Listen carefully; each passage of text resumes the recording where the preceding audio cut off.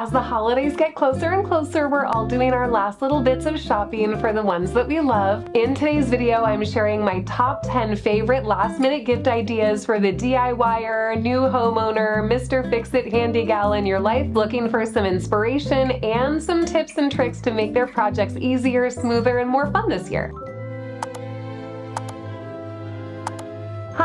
I'm Lindsay, a former teacher DIY renovating our 71 year old ranch style home in Seattle, one new skill and project at a time. I make videos about interior design so we can learn and style our homes together. After tackling some of the biggest renovation projects I've ever done in our home this year, I am so thrilled to have some really great recommendations for you on the best possible gifts for the DIYer or new homeowner in your life. As I've been hauling things in and out of the house to do different projects, I have been using just about anything to bring things back and forth from an extra large big blue Ikea bag, which honestly isn't terrible if you're hauling a bunch of tools. Different baskets that I've thrifted or just had over the years to organize different things have now become sort of tool baskets. Reusable shopping bags, it's honestly a cluster. And the thing that I'm using least right now, my toolbox. Toolboxes are so essential. I don't know why I've been avoiding reorganizing mine for so long. A basic toolbox is a fantastic gift. I'll link the one that I'm using down below, but honestly, you could find them at most hardware stores. You can even find some really cute antique ones if you're looking for something small and a little bit more stylish. Big plastic toolboxes honestly are the best. They are super cost effective and often have a little tray that pulls out, little compartments for small things, and you can even go a little above and beyond with this gift by buying a basic set of hand tools. Things like a solid hammer, a set of wrenches, screwdrivers, both flatheads and Phillips heads in different sizes, we're always losing these things as DIYers, taking them back and forth. Maybe we never got a complete set. We have some hand-me-downs. So easy to put together. You could pop down to your local hardware store, put a bow on it, and you're ready to go to the holiday party. While we're on the topic of organizing, I'm absolutely in love with my small parts organizer. This thing is amazing. I actually bought it for my classroom to store all the little bits and bobs we need as teachers, office supplies, that kind of thing. But I ended up bringing it home and using it in the wood shop. It's phenomenal. Anytime I do a project, if I have extra screws or buy something specific and have extras, I always just put it in one of the little drawers. I try to organize it as I go, but that leads me to my next fantastic gift idea, a label maker. As DIYers, we have so many DIY supplies, so many little things that we need to keep track of, categories of items, painting items, electrical items, knobs and hardware, all the accessories that go with our tools, not to mention all the electronic items, plugins, cords, chargers. There's a million different things to keep track of. Having a system where you can label everything and find it quickly is gonna make all the difference and save your DIYer or you so much time. A label maker can really do so much work for you in any space. I've used it on everything from the boxes that I use to organize office supplies in the closet here in the office to all of the storage bins outside. Right now I'm in the process of planning the labels, making sure I have all the things categorized and organized and purging some old things. So I'm using a post-it note system as temporary labeling. That way I can sort everything and then once everything's finished, I'm gonna go back in with my little label maker and make it look professional. Plus the labels are waterproof, they lay really nice and flat, they last forever, and when you wanna change them out, they easily peel off and they don't leave any residue at all. I've tried a lot of different label makers. This one is by far my favorite, and this particular one I've had for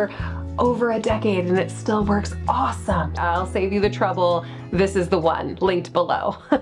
Don't forget to add some label tape too. The worst thing ever is to go to make the labels and there's no tape. From a DIYer perspective, especially when you're new to the game, having the few tools that make projects more fun and easy make all the difference. I've said this forever when it comes to painting supplies and my new one for woodworking is 90 degree angle clamps. I got two different sets. One's kind of a smaller little clippy set made of plastic. The other is large and in charge, metal, heavy duty with giant screwing elements Fantastic for building something big. Honestly, I like having both sets because both sets were really helpful when building something big. You never know when you're gonna need a clamp. Any type of clamp set is a fantastic gift to give anyone getting into woodworking or DIY home renovation. There's always times when you need to quickly have another set of hands, and that's exactly what a clamp can do for you. Don't forget the extension cords. As DIYers, we tend to get really excited about buying tools and different project materials, but we completely forget sometimes the logistics, like how far away is that outlet from the new miter saw that I bought? Having access to a heavy duty and long extension cord in your workspace can make all the difference. Not to mention just be safer in general than stretching cords and trying to make it work. I loved it as a classroom teacher and I'm loving it in my home wood shop. A little rolling cart is everything. I had two in the classroom. I use them for different things. They're really easy to move around because obviously they're on casters so you can quickly move them out of the way or close to you when you need supplies right next to you. In the wood shop, it's amazing, especially when I need to quickly clear the space. I can have it right by my side at my little desk workspace when I'm working there, but I can quickly push everything out of the way, roll that thing aside, and have the whole floor area available if I need to lay something out that's larger than my table surface. I even found these little wooden tops that fit perfectly on the top and can make it almost like a little side table on wheels that you can use for literally anything. I love having my second one on the side where I have my little painting easel studio space starting to be set up. That's a big goal for the new year is getting into that weekly, daily painting practice again. And I can't wait to bring you guys on that journey, but that's a fantastic gift for that too because it's a nice contained but accessible and also movable way to organize all my supplies, paints, brushes, chemicals, varnishes, everything. My first big DIY project in this house was refinishing and installing closet doors in my closet in our primary bedroom. I quickly learned that sanding was gonna be a huge part of pretty much any project I was going to do in this house. That was such a huge learning curve for me. I know it sounds weird, but when you're new to DIYing, stuff like like sanding, you just think it will take like a couple minutes and it'll be so easy. It gets really challenging, especially if you're just trying to do it with those little sanding blocks. Purchasing my orbital sander has been one of the best things ever. It has made everything so much simpler. I've learned a lot about buying different grades of sandpaper for different purposes, especially when it comes to woodworking, refinishing, things that I'm constantly doing, installing salvage doors, for example, that I spent a lot of time on this year. Having that orbital sander made made all the difference. But my favorite tool, I, this is a hard one. It's like choosing between your best friends, but I honestly feel like the multi-tool was the secret MVP of the year. This tool did everything. It made installing these salvage doors in this house a dream. It was a lot simpler to go in with the multi-tool and just chisel out what I needed for the mortise lock sets,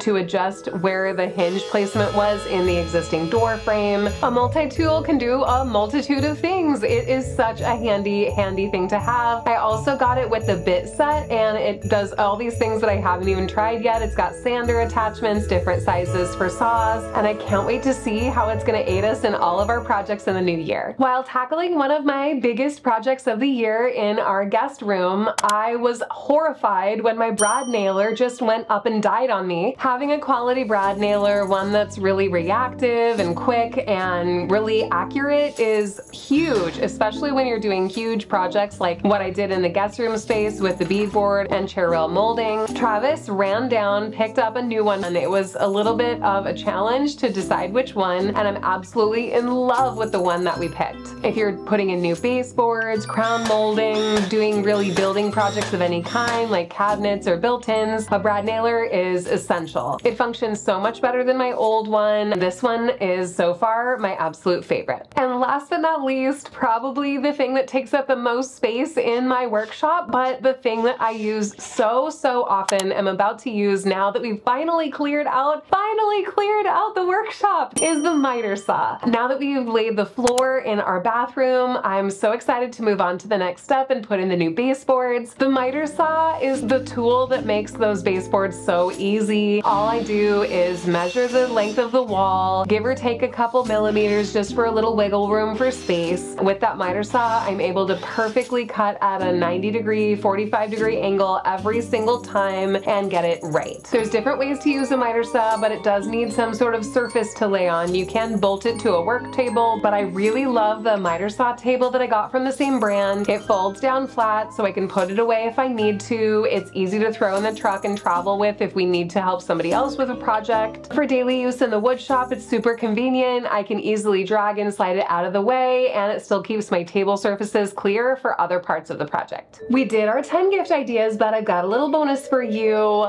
Safety inspired stocking stuffers. Now, hear me out. A lot of DIYers get so excited and impatient to get started and sometimes maybe forget to take the proper safety precautions. Help your DIYer out by giving some of these as the perfect little stocking stuffer gifts. A fantastic solid pair of work gloves, whether they're all leather or a mix of leather and synthetic. Earplugs or noise canceling headphones are a really good reminder. A lot of us are around loud equipment all the time and completely forgetting the impact it might be having on our hearing. Little lead testing kit. It comes in this cute little vial. It is so, so life-changing. It could save your loved one's life if they're renovating an older home, especially if it was built before 1970. That'll fit in the stocking so perfectly. And don't forget about a little first aid kit. I actually have two handy in my rolling cart in my workspace. They're at fingertips distance, and if anything happens, especially when I'm home alone, I know at least I could do a little quick triage, you know, take care of myself.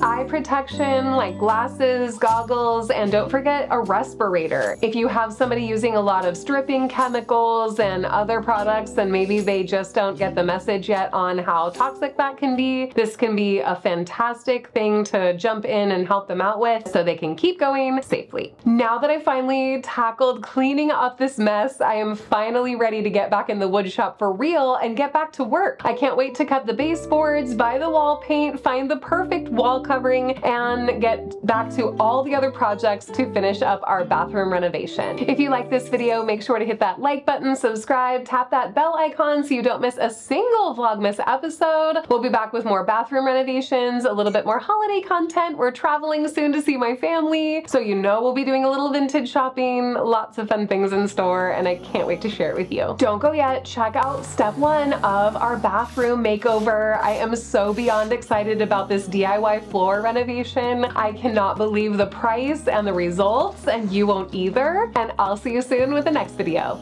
Happy decorating!